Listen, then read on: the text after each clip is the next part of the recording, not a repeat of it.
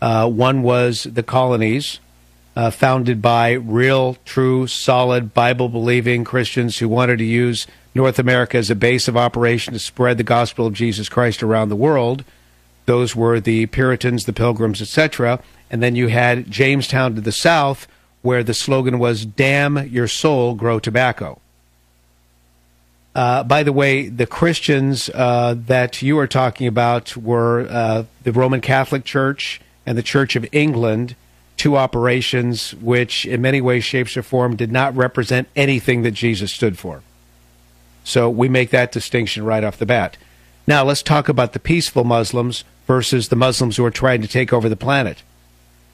Sharia law is not in any way, shape, or form conducive what, what what we have here in the United States of America, and they know it. They will never be beholden to the Constitution of the United States. So these radicals want to impose Sharia upon us, and if they can't do it through violence, they will do it by way of the womb. Next question. Thank you very much. Ah, let's see here. Other callers on the Savage Nation. We have, uh, well, okay, this is Leonard WJR. Two WJR callers. No waiting. You're on the air, Leonard. Thanks for calling the Savage Nation. My comment is uh, something's going on in Europe, too, uh, with the Muslim population. You know, there's an Oktoberfest in Munich, particularly, that's been going on for something like 200 years. It celebrates uh, a wedding that happened actually in um, October, but the party happens in September. The uh, Muslim communities around Munich, or the people that are migrating into Munich, supposedly wrote a letter to the mayor of Munich that basically stated they should cancel this festival because it offends their religious beliefs and they serve alcohol. Oh, of course, sure. Just like the uh, the Somali Muslims in Minneapolis who wouldn't work at the Target because uh, or that wouldn't check people out in line at the Target because the people were buying bacon. Right? Same deal. There was the airline stewardess that wouldn't serve alcohol, and they basically made an accommodation for her, but she's still upset that she's her fellow employees or have to take up the slack because she doesn't want to serve alcohol. Or, or Leonard, let's just take it to what happened, you know, this week, or maybe it was last week, with the clock kid down in Texas. Okay, you get the clock kid uh, Muslim kid builds builds something that looks like a bomb. Oh, give him a free pass. Come on now, we don't want to offend anyone. It's the same deal, Leonard. This is what we're talking about here. That's it. I used to live in Dearborn. Dearbornistan. you got it. Well, I'm telling you. Come on now. I think they even call it Dearbornistan. Thanks for your call on this, the Savage Nation. My gosh, is there anything else we can possibly talk about? I'm looking. Oh, well, climate change, of course, in the news. Did you hear this one? The Associated Press. Oh, the Pope was talking about climate change today, too. Yeah, we'll get to that. Some of that. We'll get to some of that for you in just a second. The Associated Press has taken a stance on climate change. Well, of course they have. They've announced a policy that mandates stronger descriptions of people who doubt global warming is real. So this is the official news speak. My God.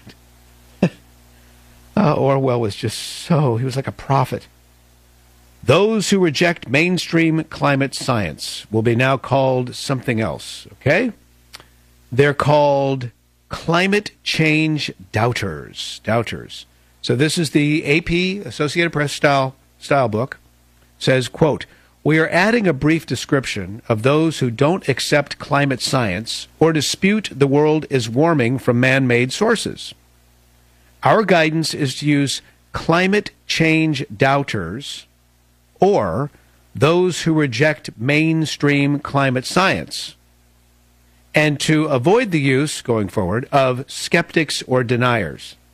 So, in other words, the drones who are writing these news stories now, this is what you're going to say.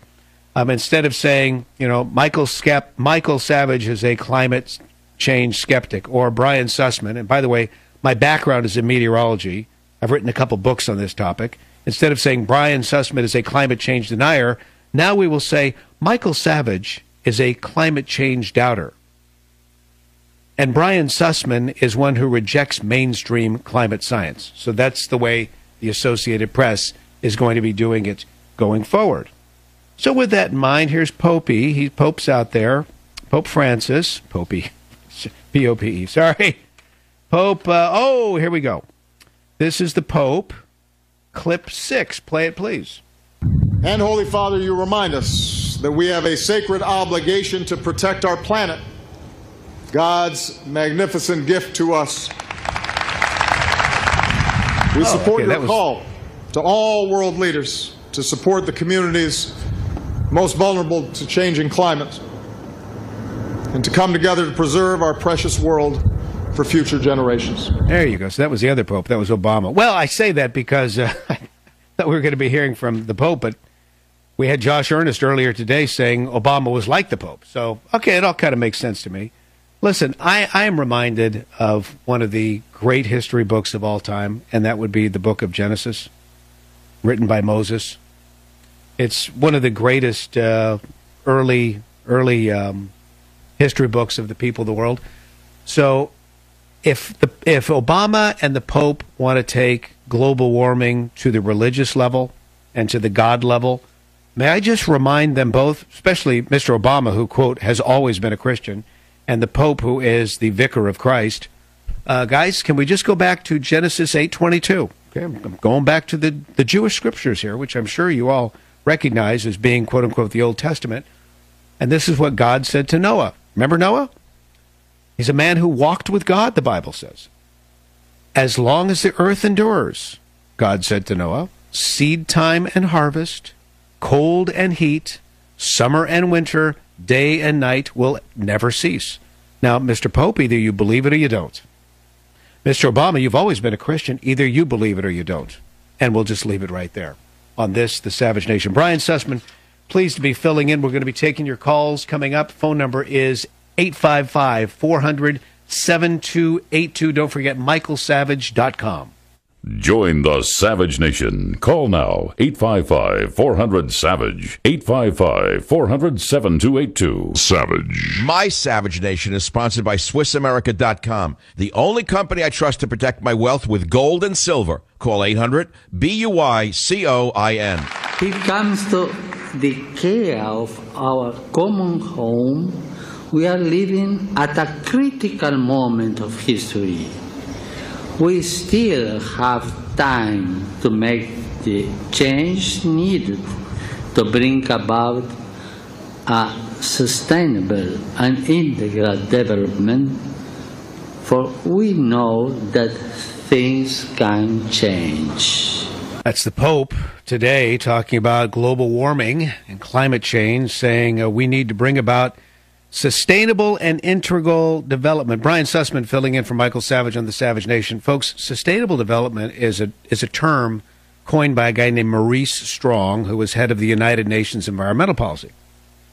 So, in sustainable development and integral developments, those are terms that came from the United Nations and what they mean, what they mean, they both mean socialism, redistribution of wealth. So he's using a coded language that's understood by many uber liberals and elites at the UN and around the world when he says we need to bring about a sustainable and integral development for we know things can change.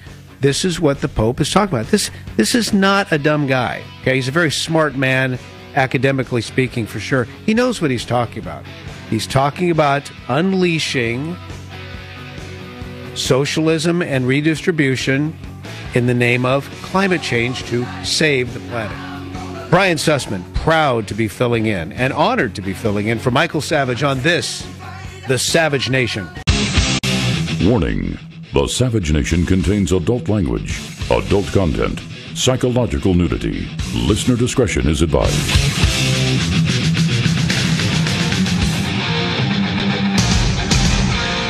And now, America's most exciting radio talk show, The Savage Nation, home of unprotected talk, borders, language, culture.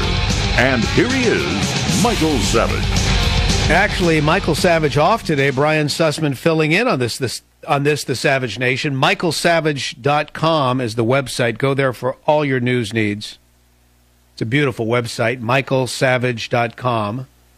And by the way, when you're there, please order a copy of Mike's new book. It's available next month, just a couple weeks from now. It's called Government Zero No Borders, No Language, No Culture. And of course, that's been Michael's theme, right? Forever. The mantra Borders, Language, Culture. I remember when he first started his program in San Francisco on the station on which I host the morning show. And Michael's still on, of course, uh, 12 to 3 Pacific. Borders, Language, Culture. Michael Savage, The Savage Nation. And uh, don't forget, Mike's emailed newsletter comes out a couple times a week. You can go there to sign up for that, michaelsavage.com. My day started off great. I start work very early because I've got my morning show, and then I was going to fill in for Savage, so that's seven hours of radio altogether. I'm pumped up. Then I start hearing all the bad news. One of the bits of bad news has to do with a piece of audio you're going to hear in just a moment.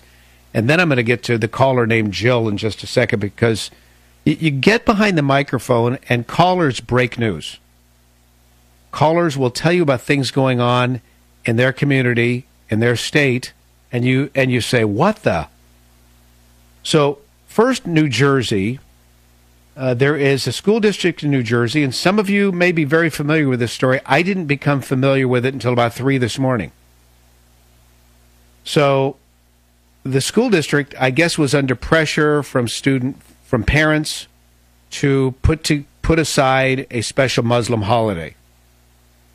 Special Muslim holiday. You know, kind of like you take off for Christmas, you take off for New Year's, Easter, whatever, President's Day. They want a special Muslim holiday, and the school district said no. And there were all these. I saw the video. All these, all these Muslim moms, especially, just outraged and then one Muslim mother said what you're about to hear, and all it did was confirm what I have been saying on the radio, Michael's been saying on the radio. Many historians have been saying this is the modus operandi of the of the uh, radical Muslim. Take a listen to this statement. We're no longer the minority. That's clear from tonight. We're going to be the majority soon. We're going to be the majority soon. That wasn't a statement of fact, that was a threat. We're going to be the majority soon. And when we are, and what do we have? The fundamental transformation of America with Obama getting ready to, by way of his executive authority, bring in 100,000 Syrians. And by the way, the process, as I understand it, when he brings people into this country with his executive authority in refugee status, the vetting isn't the same as, for example, those who come into this country legally and now they're telling us maybe 200,000. Let's start doing the math here. I mean, just use your imagination. Uh, what, the average American these days? Your average, let's just say, I don't know, average American who's been here a couple generations. How many how many children do they have these days? I mean, I look at the Silicon Valley. You you might get a couple to have one because we got to keep our carbon footprint small, you know. Well, these Muslim refugees come into the country, one, they'll have 10. Just start doing the math. You bring in 100,000 and then chain immigration and then children. It's the fundamental transformation of America. Now we go to Jill, who's listening online. Jill, welcome to the Savage Nation. Brian Sussman filling in for Michael Savage, and you, Jill, are on the air. Hi. Yes, I'd like to comment. In my school district here in Pennsylvania, Christians have been just dissed continuously. We're not even allowed to acknowledge uh, Christmas, Good Friday, Easter on the calendar. They do acknowledge some other religions, but when I brought it up with the principal, I was told that because Christians had so many years of advancing their religious holidays that they had to roll it back. So we can't sing religious Christmas carols. We can't uh, really make any um, any show of uh, a practice of our faith because they say it's the public school and religion and right separation of church and state. Unbelievable. So now the Christian holidays are no longer noted. You don't call it the Christmas break; it's called the what break? Holiday break? Uh, winter break? What do they call it?